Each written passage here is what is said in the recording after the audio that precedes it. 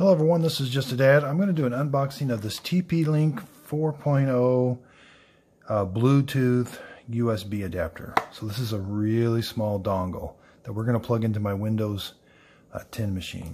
But when you open it up, you get this nice set of instructions and this dongle. This is all you're going to get.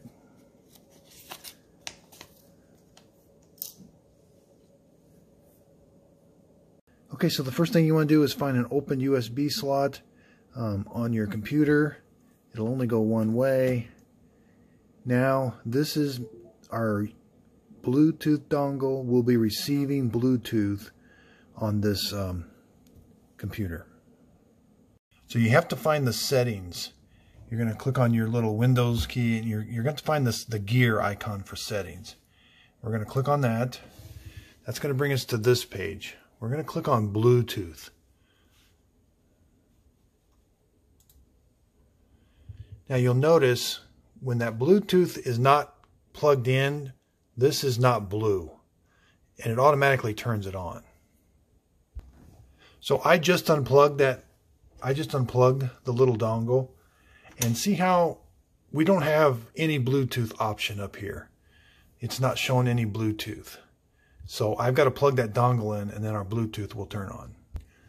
Okay, so I plugged it in and it says that it's now discoverable as desktop and it's got that long name. That's the Bluetooth that I'm going to look at and set up. So the main reason I did it was I have these Samsung uh, AirPod, AirPods and they're Bluetooth. They're really nice. And I want to be able to listen to um, my main computer without using headphone jack. So, but these were a little tricky setting up because these were first set up with my phone.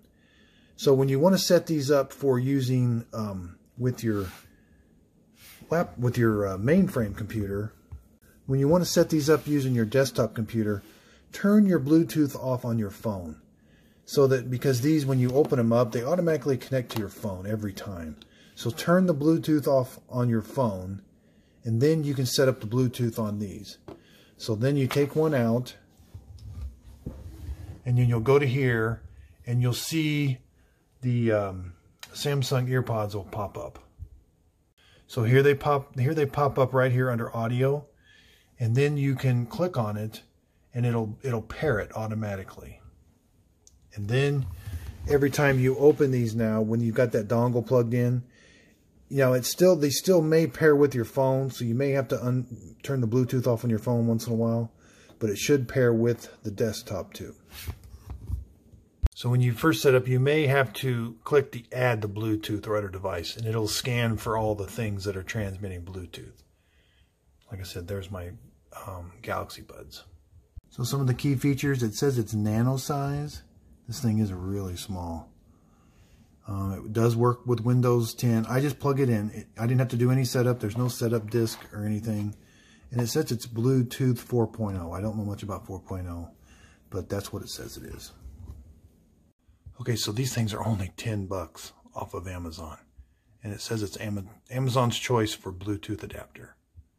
So again, this is just a dad. I wanted, I wanted to be able to use my wireless Bluetooth earbuds with my uh, main desktop computer so I don't have to use a uh, wired headphone jack anymore. So if you could, please like and subscribe and thank you for watching.